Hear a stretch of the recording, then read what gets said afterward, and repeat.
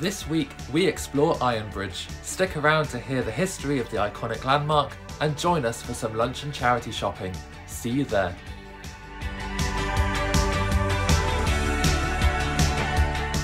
So we're here in Ironbridge and I'm going to tell you a little bit of history.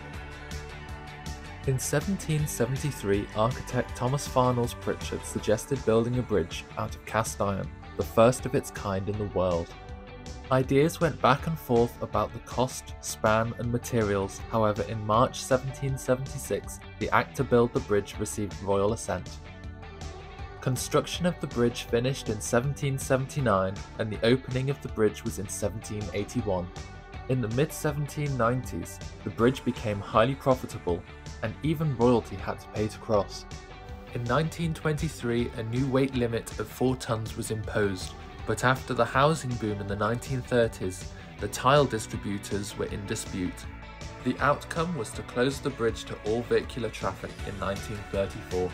Tolls for pedestrians were collected until 1950 when the ownership transferred to the Shropshire County Council. The tolls collected only marginally covered the cost it took to collect them and due to the bridge's poor condition, suggestions to sell the bridge as scrap metal and replace the bridge were made, but luckily not carried out. More recently, in January 2017, the English Heritage carried out their biggest ever restoration project that totalled £3.6 million. So I'm standing underneath the Iron Bridge and although I've been here many times, it is still just so fascinating how kind of immense the structure is. I love this place. The construction of the bridge used approximately 384 tonnes of iron and the total estimated cost is around £748,000 in today's money. For those of you that like to use elephants as a measurement, it's approximately 189 elephants in weight, and for the more obscure viewers that like to take things up a notch, a quick Google and I found out an elephant costs around £100,000, so you could get yourself seven of those too. After a morning full of history, we definitely worked up an appetite. Time for some fish and chips.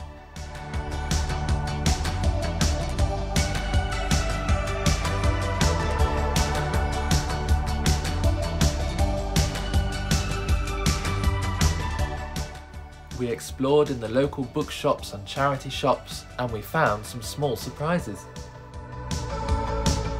George managed to find a new coat, didn't you? Mm-hmm. And it was £8. So do you want to give us a little twirl?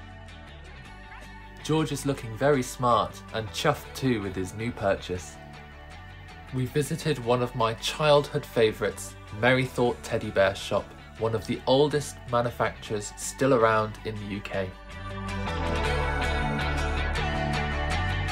So it's time for us to go home. We've done quite a lot in a very short amount of time.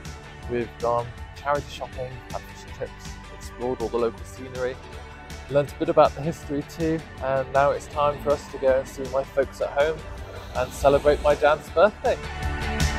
I do hope you enjoyed this video, check out my other adventures and take care.